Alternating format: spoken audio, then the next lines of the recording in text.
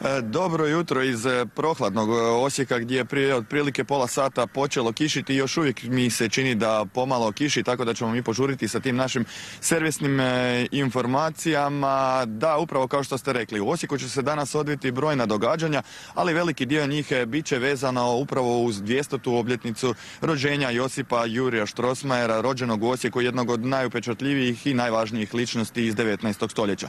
Mi se nalazimo ovdje u tvrđi upravo uz bistu Josipa Jurija Štrosmajera, ali nalazimo se i pored gimnazije koju je pohađao Josip Juraj Štrosmajer, a zanimljiv je podatak da je tu gimnaziju osim Josipa Jurija Štrosmajera da su ih pogađala, pohađala e, jedina dva e, hrvatska dobitnika Nobelove nagrade za kemiju, to su Vladimir Prelog i Lavoslav Ružička. Zanimljiva se izgleda ekipa e, okupljala ovdje u ovoj gimnaziji. Osijek je studentski grad i da, Osječko sveučilište stoga logično nosi i ime Josipa Jurija Štrosmajera jer on je bio jedan od utemeljitelja svih središnjih e, kulturnih i znanstvenih e, institucija.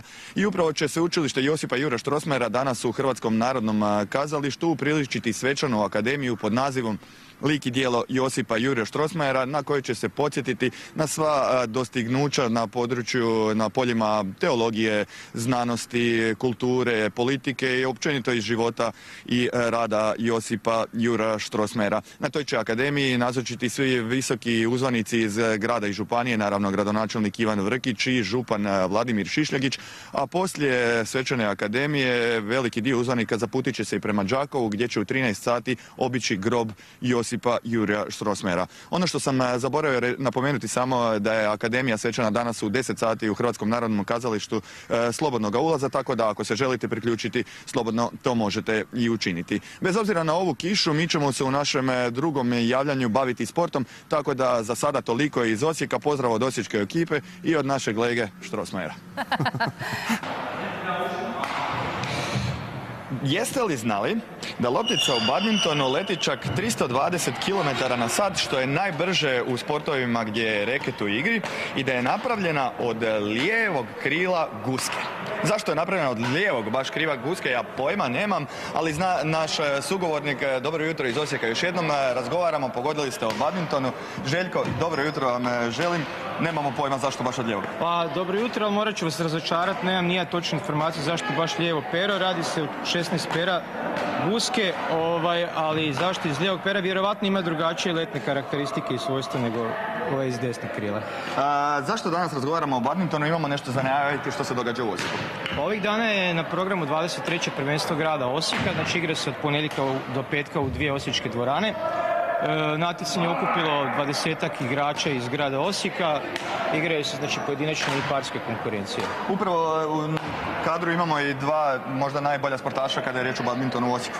Da, to su Bruno Bart i Goran Humel koji u zadnjih deseta godina se skroz izmjenjuju u titulama osječkih prvaka. Možemo li pozvati ljude, mogu li oni doći pogledati taj, taj turnir? Kada je najinteresantniji? Pa najinteresantnije završnice u, u 19 sati u petak u dvorani Mađarskog centra.